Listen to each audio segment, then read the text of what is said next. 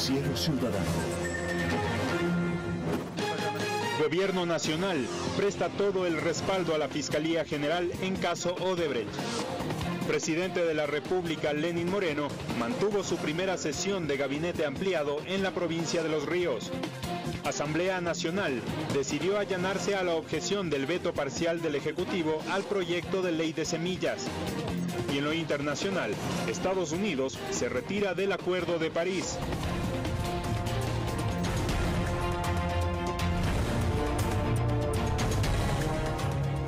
Amigos, amigas televidentes, muy buenas tardes. Qué gusto que nos acompañen a esta hora en la emisión central de su noticiero ciudadano de este viernes 2 de junio. Bienvenidos y bienvenidas. Empezamos. La mañana de este viernes se realizaron allanamientos en varias viviendas de tres ciudades del país como parte de las investigaciones que lleva adelante la Fiscalía General del Estado en, en, los casos de actos ilícitos de la empresa Odebrecht. El presidente de la República, Lenín Moreno, indicó que su gobierno presta todo el respaldo a la función judicial en la lucha contra la corrupción. Cinco personas vinculadas con los presuntos actos de corrupción de la empresa Odebrecht fueron detenidas durante los operativos de allanamiento realizados la madrugada de este viernes 2 de junio en tres ciudades del país, según lo informaron las autoridades de la Fiscalía General del Estado. Con el rigor técnico y el respeto a las personas detenidas y en estricta observancia al debido proceso, la evidencia para tomar estas acciones confirman que los detenidos y las empresas allanadas formaban parte de una trama de crimen organizado que involucró y tuvo como eje central a la empresa Odebrecht. De igual manera, la fiscal subrogante Tania Moreno indicó los resultados obtenidos durante los operativos de allanamiento realizados. Dentro de la operación Odebrecht, Fiscalía General del Estado, conjuntamente con el apoyo de la Policía Nacional del Ecuador efectuó algunas diligencias en tres ciudades, Quito, La Tacunga y Guayaquil. Tenemos que en la ciudad de Quito se efectúan tres allanamientos, una en un hotel donde se encuentra y se incauta una caja fuerte, también en una empresa donde obviamente se incauta y se levanta documentos relacionados con la empresa Odebrecht. En el domicilio, efectuado aquí el allanamiento en la ciudad de Quito, también se encuentran más documentos también relacionados obviamente a esta empresa. En Guayaquil encontramos en un domicilio cinco cajas fuertes, las cuales al realizar la extracción obtenemos 170 mil dólares en efectivo. También se incauta en este domicilio joyas por un valor alto, así como también vehículos de alta gama. Encontramos armas, obviamente sin el permiso correspondiente. En otro domicilio, en la vía a la costa, encontramos carpetas y un cheque de la empresa Odebrecht por el valor de, 200, perdón, de 980 mil dólares. Por su parte, el vicepresidente de la República, Jorge Glass, confirmó que entre los detenidos está uno de sus familiares y recalcó que la justicia debe investigar a todas las personas involucradas. Este es un momento en donde la justicia debe investigar y debe investigar todo a profundidad. Nadie está por encima de la ley en nuestra revolución ciudadana. Lamentablemente, según la información que tengo, porque tampoco tengo más información, hay un familiar mío que está siendo sujeto de investigaciones.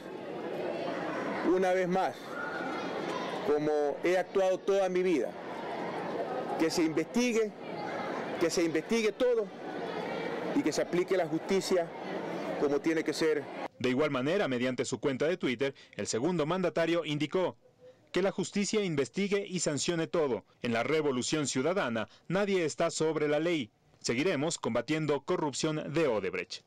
Durante la instalación de la sesión del gabinete ampliado, el presidente de la República, Lenín Moreno, indicó que su gobierno, en sus esfuerzos para luchar contra la corrupción, ha ofrecido toda la ayuda necesaria para que la Fiscalía investigue toda la trama del caso Odebrecht. Inmediatamente manifestamos al señor fiscal que es el que tiene la información. Nosotros le ofrecimos todo el contingente, toda la ayuda que habíamos eh, comprometido desde el comienzo por parte del Gobierno Nacional. Yo había manifestado en mi mensaje a la Nación que iba a haber una lucha frontal contra todo tipo de corrupción y esta es una forma de comprobarlo. La única manera de lograr que exista eh, independencia de funciones es que de parte del Ejecutivo se dé a cada una de las instancias toda la libertad para que puedan actuar libremente. Y eso es lo que ha pasado en el caso del señor fiscal.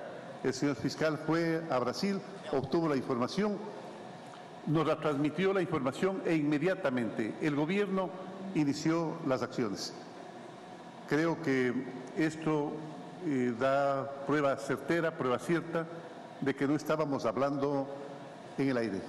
Estábamos hablando de forma certera, estábamos hablando de forma veraz, el momento en que dijimos que íbamos a hacer una lucha frontal, abierta y una cirugía mayor a cualquier tipo de corrupción de cualquier tiempo y cualquier persona que la practique.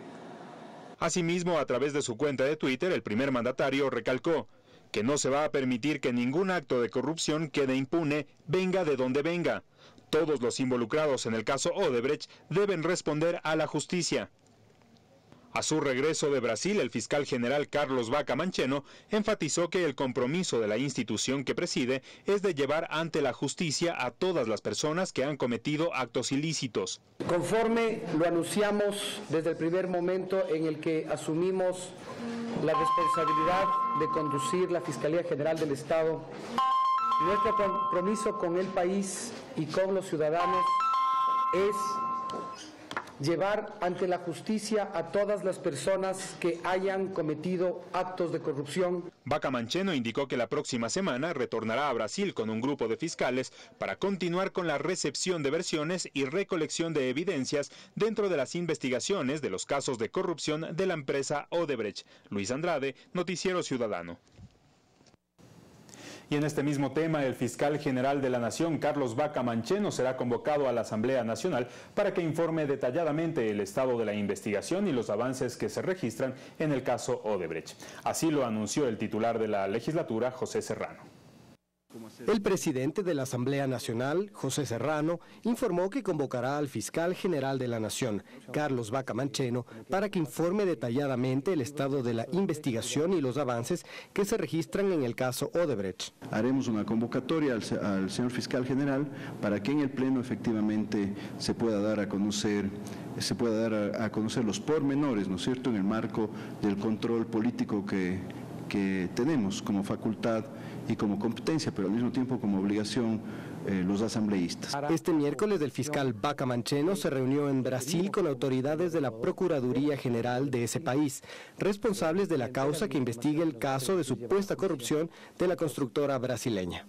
El fiscal Carlos Vaca Mancheno ponderó que el principal compromiso al que llegó con las autoridades brasileñas es haber establecido de una manera clara un mecanismo de cooperación expedito y rápido que permita el tratamiento de la información obtenida. Pudimos establecer mecanismos expeditos y ágiles para la cooperación que requerimos como Fiscalía de Ecuador de la Procuraduría de Brasil eh, en la entrega de la información que nos va a permitir llevar a juicio y procesar los actos de corrupción que se cometieron por parte de ejecutivos de la empresa Odebrecht y de algunas personas eh, privadas y públicas. El titular del legislativo, José Serrano, aclaró que se debe determinar si la información a solicitar puede ser difundida o no. Por eso o debe ser todavía manejada de manera reservada si es que hubiese algún tipo de impedimento legal con el procedimiento, sobre todo penal, que establece, que establece nuestra legislación. En todo caso, eh, la convocatoria al Pleno tiene como objetivo que todos los representantes de los ciudadanos y ciudadanas de todas las bancadas políticas conozcan efectivamente en qué estado está esa investigación para que no quede en impunidad y obviamente podamos dar una muestra fehaciente de que estamos haciendo nuestro trabajo de control político. Cabe destacar que la Procuraduría brasileña acordó entregar a Ecuador las informaciones obtenidas en más de tres años de investigaciones. Cambiamos de tema. El presidente de la República, Lenín Moreno, se encuentra liderando en Babahoyo su primera sesión de gabinete ampliado para analizar la aplicación de los lineamientos impartidos por el mandatario para los primeros 100 días de su gestión y las acciones prioritarias que se ejecutarán en las diferentes carteras de Estado. Durante la cita ministerial se revisarán además otros aspectos como la optimización de la inversión pública y las metas que deberán alcanzar hasta septiembre los consejos sectoriales que agrupan a las distintas secretarías de Estado. El primer gabinete que realizamos es aquí en la ciudad de Babahoyo, una ciudad y una provincia que nos deparó en las últimas elecciones una votación bastante caudalosa ganamos por aproximadamente el 55 contra el 45% y eh, quiero darle mis gracias a la provincia de Los Ríos, a la ciudad de Babahoyo, que nos permitió tener este triunfo electoral. Muchísimas gracias por ello. Eh, pedimos a esta provincia con el fin de que, en primer lugar, que los señores ministros expongan su evaluación, la evaluación que han realizado durante esta semana de sus respectivos ministerios y a la vez nos expongan cuáles son sus propósitos, sus proyectos y aquellas actividades que van a realizar durante estos primeros días para ir consolidando pues, la actividad del Gobierno Nacional. Quiero eh, además manifestar que, que hemos organizado este gabinete con seis eh, consejos sectoriales. El de la producción, que va a estar a cargo del querido compañero vicepresidente Jorge Glas Espinel. El de seguridad, que va a estar a cargo de Miguel Carvajal, ministro de Defensa. Eh, la política exterior y promoción estará a cargo de María Fernanda Espinosa.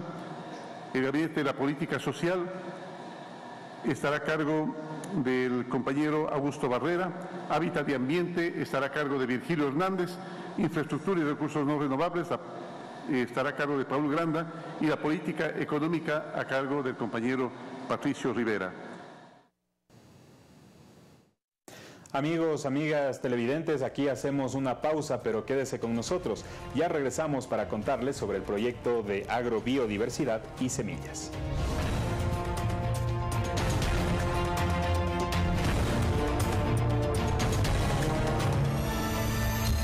Inicio de espacio promocional.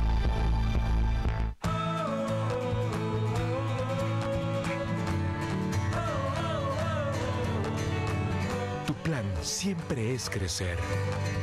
Del mar salen nuestros materiales y nuestra inspiración. Con mi esposo hemos sido artesanos más de 20 años. Mi jornada inicia en las olas desde antes de las 6 de la mañana. Soy surfer, salvavidas, guía naturalista. Con mi esposa iniciamos este negocio hace más de 16 años. Soy maquilladora profesional. Tengo un estudio de maquillaje aquí en La Libertad, el primer estudio en la península. Mi negocio al principio inició con el boca a boca. Antes no tenía su presentación por medio de catálogos, revistas. Con internet se nos hace mucho más fácil, pues nos conectamos directamente con la persona y se lo enviamos. El internet me ha ayudado muchísimo. Han venido la gente de Europa, de Estados Unidos. Las fotos y videos que sube mi esposa nos han traído clientes de todos lados. Esto de las redes sociales me ha ayudado muchísimo a que mi negocio avance. El 99% ha visto mi trabajo por internet. Nos ha ayudado bastante porque he tenido mis ventas. Mi producto a la gente le encanta. El Ecuador es único. Me encanta lo que hago y estar siempre en contacto con la riqueza de esta península. No quiero moverme de aquí porque tengo todo. En pocas palabras, el mar es mi vida se siente una cliente al momento de que termine y vea, se sienta diferente, se sienta hermosa, para darle aquí a la península un servicio en cuanto a belleza, imagen que merece. Tu plan siempre es crecer y el nuestro también. ¿Y tú, qué planes tienes con CNT? Fin de espacio promocional.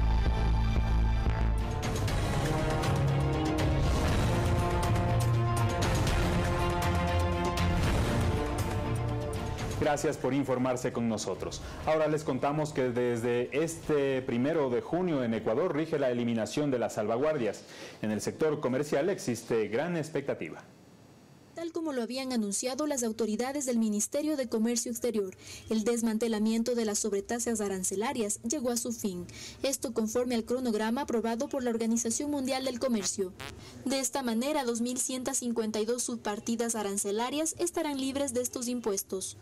Para el economista Víctor Hugo Albán, presidente del Colegio de Economistas, esta medida sin duda tendrá un efecto positivo, en especial para el sector importador por el hecho de que la gente va a poder importar productos, eh, digamos, suntuarios a un costo menor, porque los aranceles se mantienen, la sobretasa que se elimina. La medida fue implementada el 5 de mayo de 2015 con el objetivo de regular las importaciones y equilibrar la balanza comercial. En la ciudadanía y el sector comercial existe gran expectativa y se espera un incremento del consumo.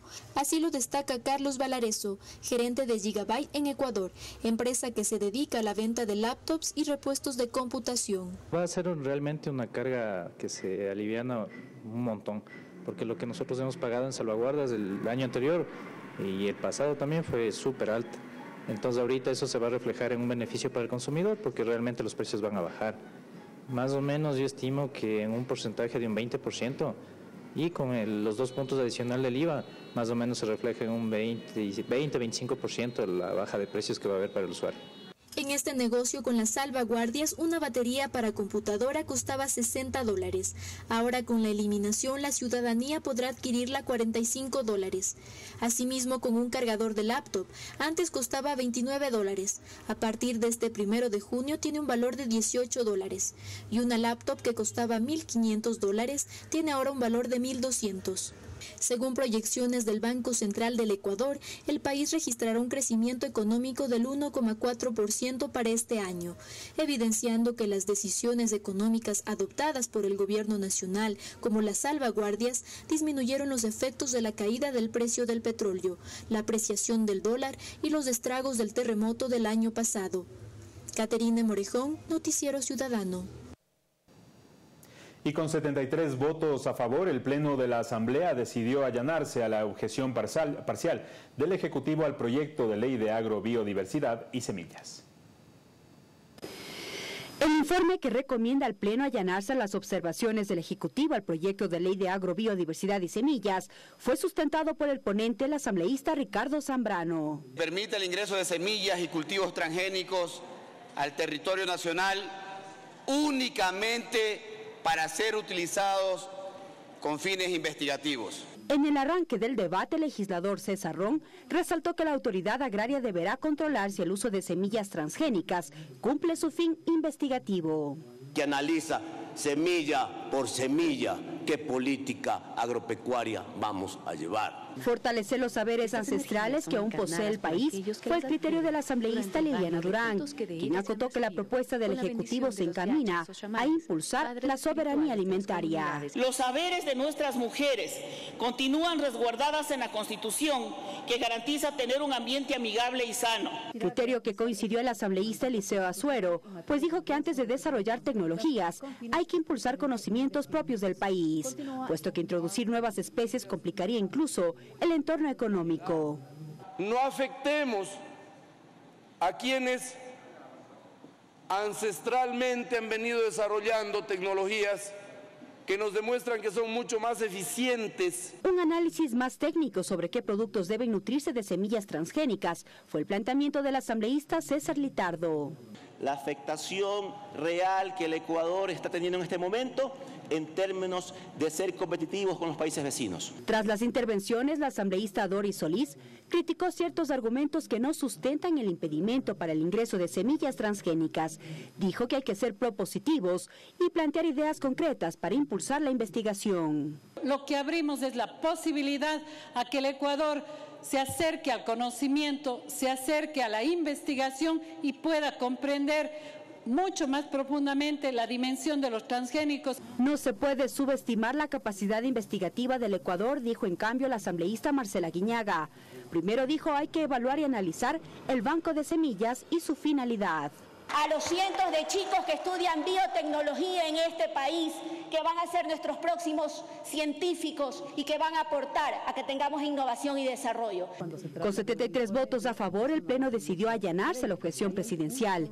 El documento será enviado al registro oficial para su publicación. Amigos, amigas, es momento de hacer una nueva pausa, pero quédese con nosotros. Al regresar les contaremos sobre la decisión del presidente Donald Trump de retirarse del Acuerdo de París contra el cambio climático.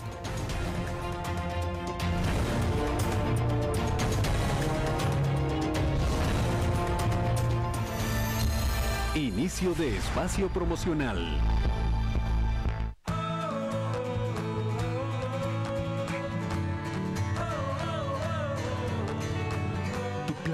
Siempre es crecer. Acá en Puerto Viejo la gente tiene bastantes ganas de trabajar. Nos damos la mano entre todos. Es único, este lugar te da todo. Tienes la playa, tienes pesca, tienes surf. Mi nombre es Gabriel Páez, soy empresario de telecomunicaciones. Aparte de eso, damos también mantenimiento y damos servicio técnico. Mucha gente no consumía tanto el café como en otros lados. Era el momento de emprender en algo innovador y comenzar a hacer costumbre en nuestra tierra. El deporte del kite está aquí en la ciudad de Manta, en la playa de Santa Maranita, alrededor de 10 años. El día comienza muy tranquilo. Cuando ya las condiciones están perfectas, comenzamos a avisarle a la gente y todo el mundo sale corriendo a armar sus equipos para meterse al mar lo más pronto posible. Yo tenía dos locales en la zona cero. Uno te perdió el que estaba en el centro comercial. Comenzar desde cero. Lo más importante es que estamos sanos y estamos juntos. Mucho temple, muchas ganas. Con la tecnología nos permite estar en contacto con los clientes, proveedores. Incentivamos el consumo del local de acá de, de Manaví. Tomarse un café es una experiencia. A través de mi empresa nos comunicamos y nos mantenemos comunicados en Ecuador y en todo el mundo. Mi familia está completa para seguir adelante como manavira que somos. Para mí, comunicarme con el mundo, hacer mis negocios, responderle a las personas, estar comunicados es algo básico. Tu plan siempre es crecer y el nuestro también. ¿Y tú, qué planes tienes con CNT? Fin de espacio promocional.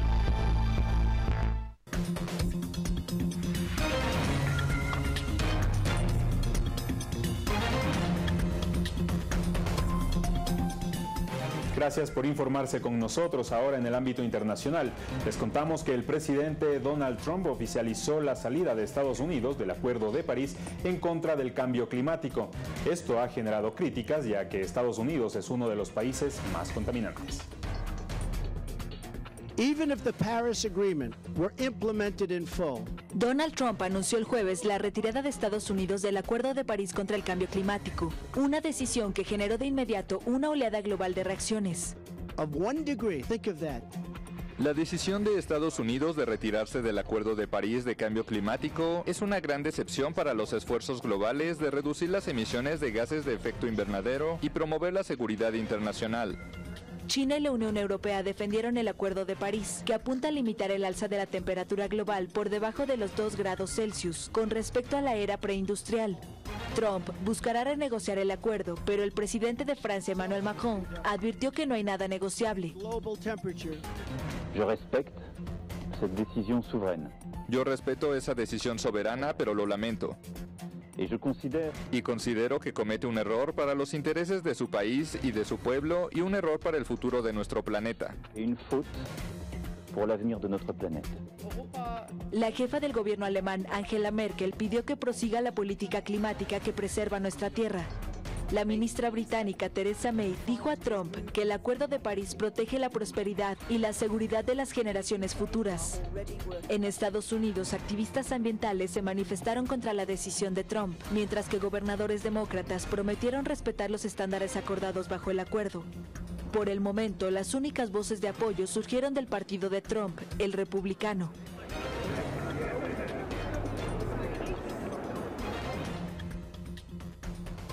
En Filipinas, un asalto a un casino de lujo en Manila dejó decenas de víctimas mortales. Los hechos todavía, se investigan para determinar si fue un ataque terrorista. Al menos 36 personas murieron el viernes en el casino de Manila, la capital de Filipinas, que fue atacado por un hombre armado, que disparó y prendió fuego al lugar. 53 personas resultaron con lesiones por una estampida y el humo. 18 tuvieron que ser hospitalizadas. ¿Por qué no un acto de terror? No hay elementos de violencia, de amenaza o de intimidación que indiquen terrorismo. Si fuera un terrorista del grupo Estado Islámico, habría disparado a la gente. Las autoridades informaron que el agresor, que al parecer actuaba solo y podría ser extranjero, caminó hacia una de las zonas del casino, disparó con un rifle hacia una televisión, roció luego con gasolina la mesa de las apuestas y la incendió.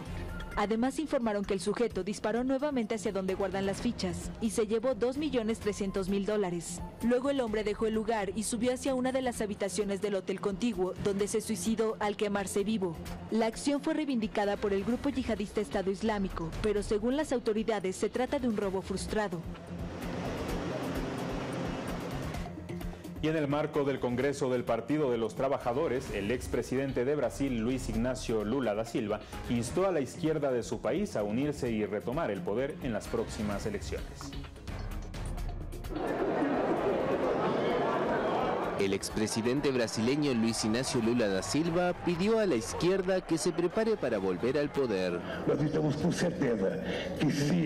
Tenemos la seguridad de que si la izquierda va a la disputa con un programa bien preparado, vamos a volver a gobernar este país en 2018. Lula, que enfrenta cinco juicios por corrupción, es la principal apuesta para 2018 en el Partido de los Trabajadores, que comenzó el jueves su congreso en medio de las investigaciones de desvíos multimillonarios de la estatal Petrobras.